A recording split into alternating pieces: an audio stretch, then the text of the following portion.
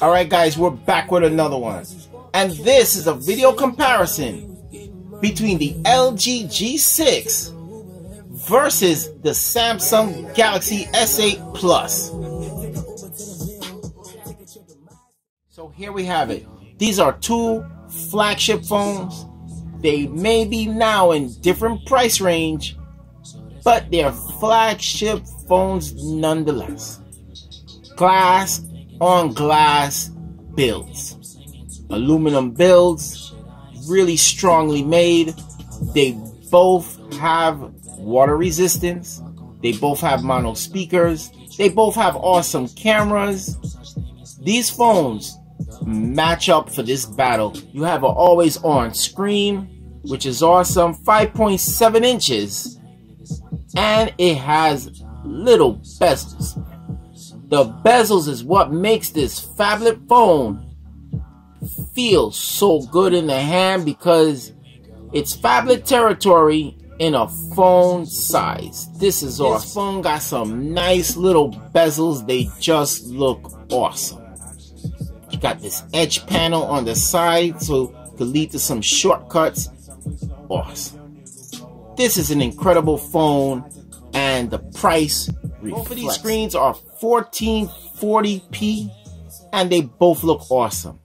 But an AMOLED screen just looks so much better than a regular LCD. Now, when it comes to reviewing, looking at content, that's where a conversation needs to be started. Samsung has a 6.2 inch screen this is a different type of ratio that we're not accustomed to, but Samsung has put in some software to expand that screen. So when you're watching something on YouTube and you're going to have those black bars on the sides, you can easily just tap the screen, press that little indicator right there, and you can expand the screen so you can have that full size 6.2 inch resolution, that's awesome. When it comes to LG, there is no button to expand the screen.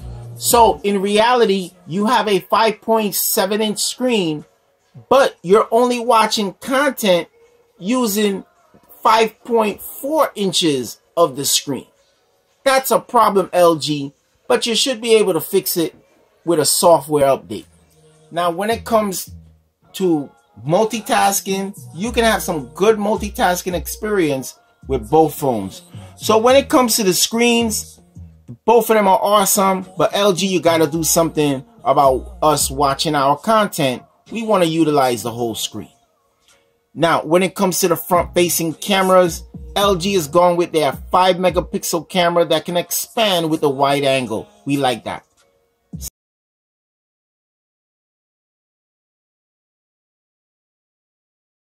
Samsung has gone with the 8 megapixel shooter and it's fantastic. They did a good job.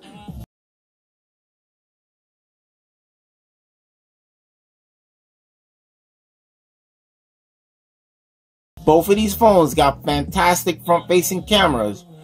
But I gotta say, for Samsung going up to 8 megapixels, I'm gonna say this is the better front facing camera. I really like it. And both of them got those beauty modes, but Samsung can, with their filters and stuff like that, you can have more fun with Instagram with this phone. Now, when it comes to the rear cameras, you got 12 megapixels versus two 13 megapixels. Now, normally I would say two cameras is better than one. But in this case, these 13 megapixel shooters, as much as I like the wide angle and you don't lose and you don't get any distortion, it's not really a problem when you're going into wide angle. You're not losing any type of resolution or anything like that. But the problem, these 13 megapixel cameras are good shooters, but they're not great.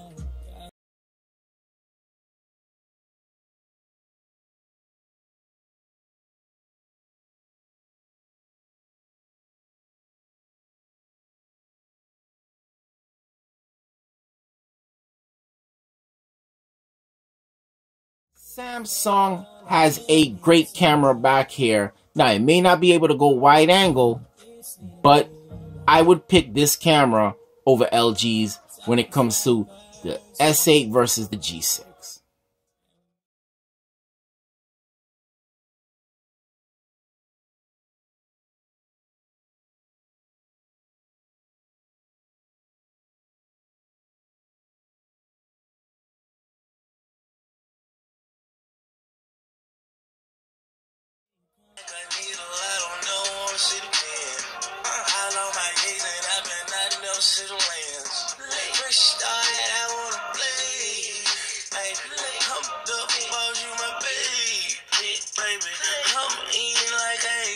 Ice melted on the table, and the plane that should fly isn't able.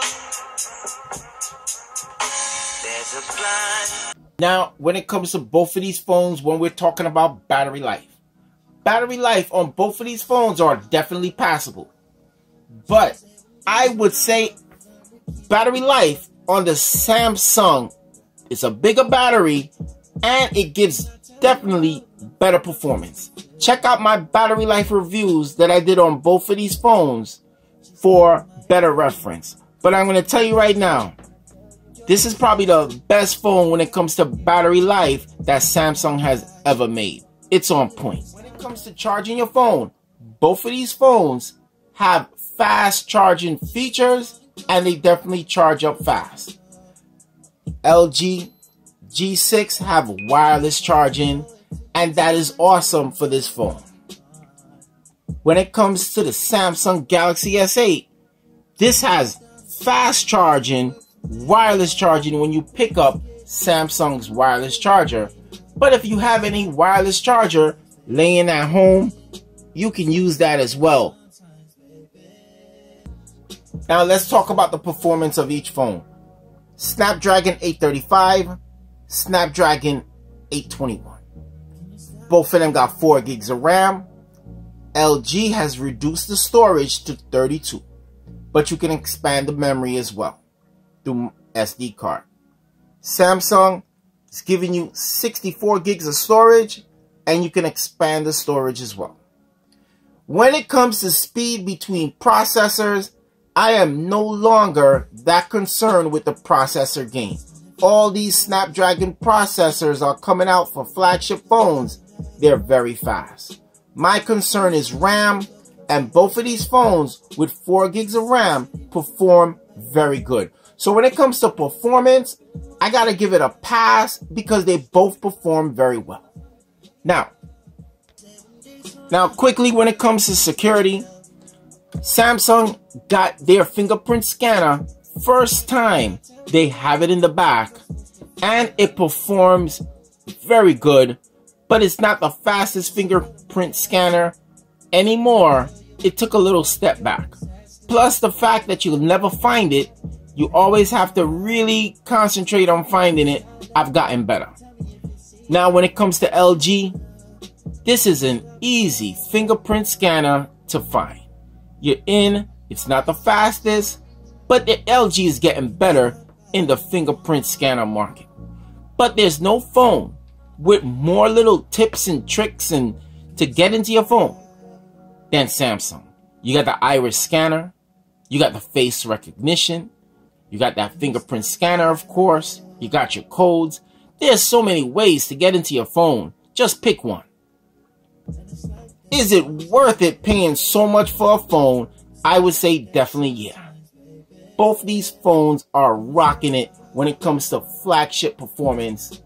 But if you want a lot of features, you'll go with the Samsung. If you want to save some cash, you'll go with the LG G6.